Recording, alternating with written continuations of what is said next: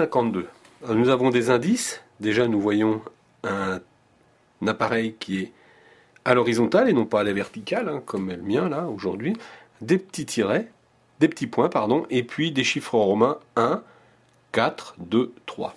Alors, nous allons suivre ce qu'on nous demande ici, c'est-à-dire nous allons incliner notre appareil. Donc je vais le redresser légèrement, je vais le pencher, et je vois apparaître, voilà, maintenant que c'est fait, ça, ne repartira plus, et je vois apparaître ici quatre indices. Vers la droite, vers la gauche, vers le bas, et le rond veut dire taper.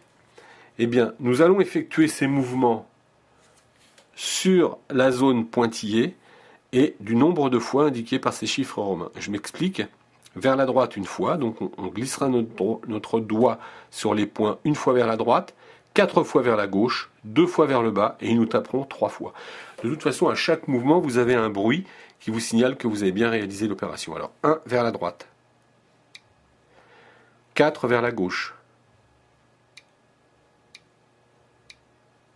Voilà, le premier n'avait pas marché, hein, il n'y avait pas eu de bruit. Deux vers le bas. Et trois tapes. Voilà, maintenant j'ouvre ma porte pour aller au niveau 53.